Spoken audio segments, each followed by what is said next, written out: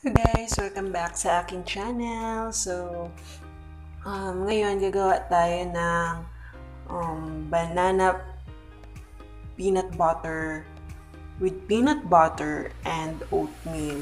Okay? So, instead of milk ang ilalagay natin, partner natin sa ating banana, um, peanut butter yung ating gagamitin kasi um, mas healthy, mas creamier kapag peanut butter ang ating gagamitin sa ating banana. Tsaka um, sa aking base na ni-research ay banana and milk ay hindi po naka um, hindi po maganda sa ating katawan. So, ngayon, gagamitin natin yung ating portable na blender.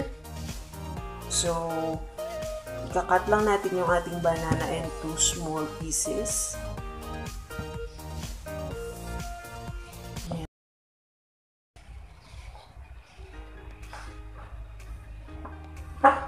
Then, natin siya ng water.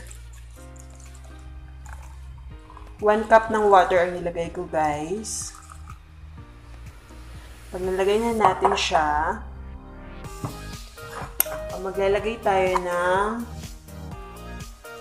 1 teaspoon ng ating peanut butter.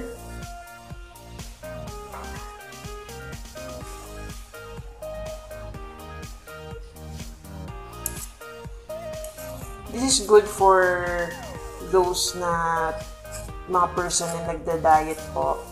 Um, pwede mo siyang gawing snack sa hapon, yung mid-afternoon snack ninyo, or yung um, late night na snack po natin. Tapos yung ating half cup na oatmeal. Thank you.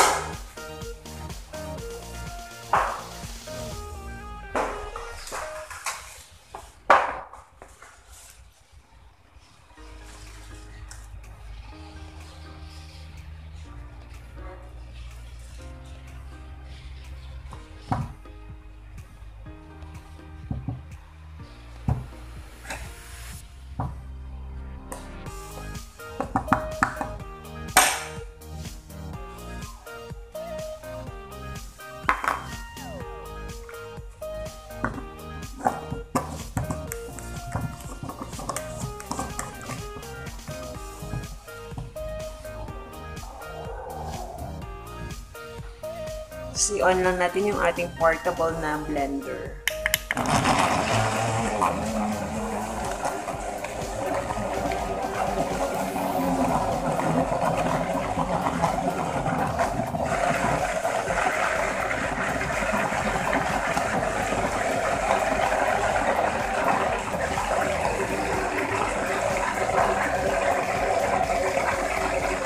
So, ito pag nag-red na siya, um, halimbawa, pag uh, pinon nyo, tapos red yung maging kulay niya, ibig sabihin po nun, low bat po siya. So, kailangan nyo po siyang i-charge.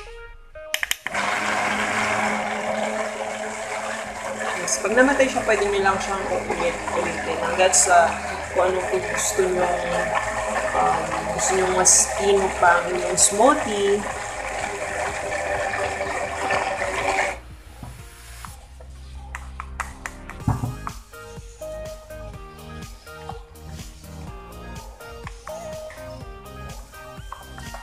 magandang blender to kasi on the go blender.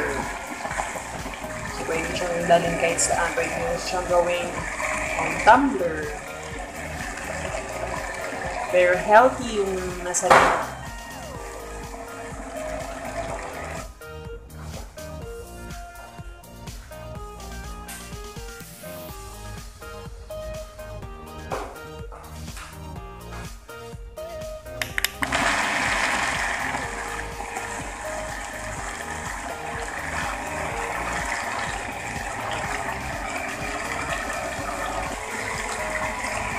So, ayan. Uh, one, tea- one tablespoon lang na peanut butter yung ko, guys. Kasi, um, too much peanut butter ay hindi rin po maganda sa ating uh, katawan kapag po tayo ay nagda-diet.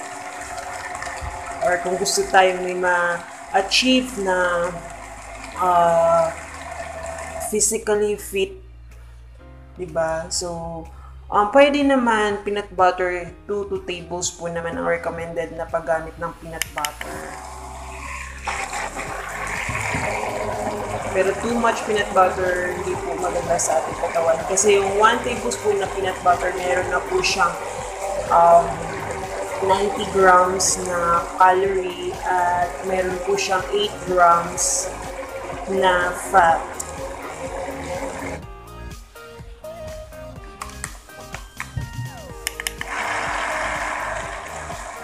So gusto ko pa mas pino siya.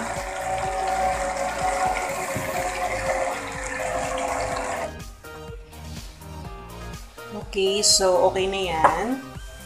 Silipad na natin siya sa ating favorite glass.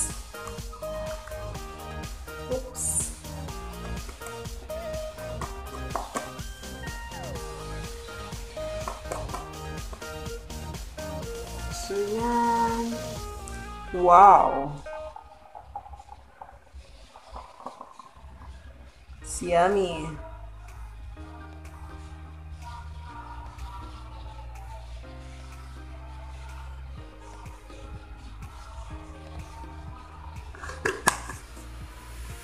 So, pwede niyo rin po siyang ilagay sa uh, freezer kung gusto niyo po siyang um, mas uh, konting uh, cold kapag ininom niyo siya. Pero ako, hindi na po kasi di ako mahilig sa malamig.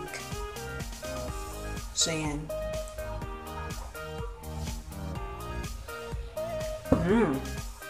Napakasarap, napaka-creamy.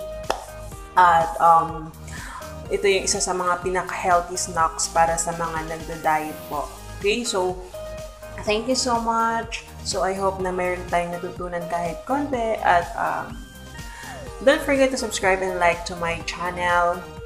At i-click nyo na rin po yung aking uh, ring bell button para po ma-update kayo sa aking mga videos at every time na nag-upload ako ng aking mga videos.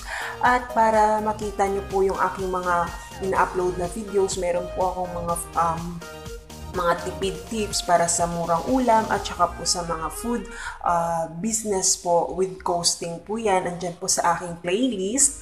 So, um, check nyo na lang po. Okay, so again, thank you so much for watching.